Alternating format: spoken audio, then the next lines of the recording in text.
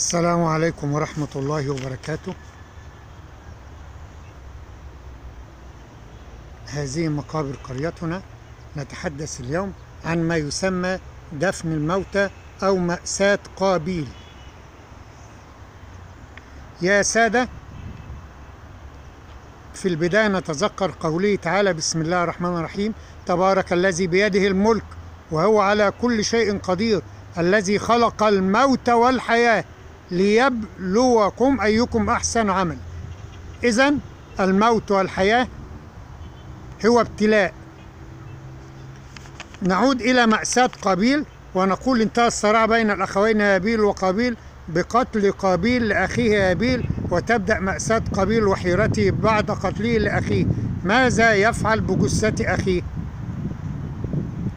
بالطبع لا بد من دفن الموتى في باطن الأرض سواء كانت لإنسان أم لغيره. والإنسان تعلم هذا الدرس من الغراب ولذلك كان الدرس وافيا. فقد بعث الله غرابا ليحف ليحفر في الأرض ويدفن أخيه أخاه الغراب الميت. فالمولى سبحانه وتعالى أن أراد أن يكون الدرس على يد غراب. إذا دفن الموتى سنة. سنة طيبة. ويقول رب العزة فطوعت له نفسه قتل أخيه فقتله فأصبح من الخاسرين فبعث الله غرابا يبحث في الأرض ليريه كيف يواري سوءة أخيه.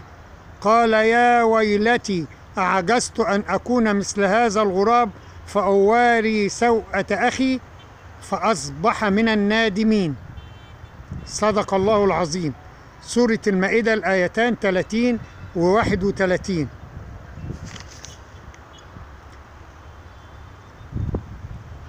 إذا رب العزة في سورة المائدة يتحدث عن الدفن أو واري سوءة أخيه أو أدفن.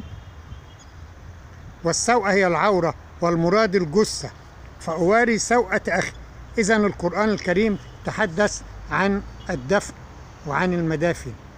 نقول لهؤلاء الموتى السلام عليكم أنتم السابقون ونحن اللاحقون.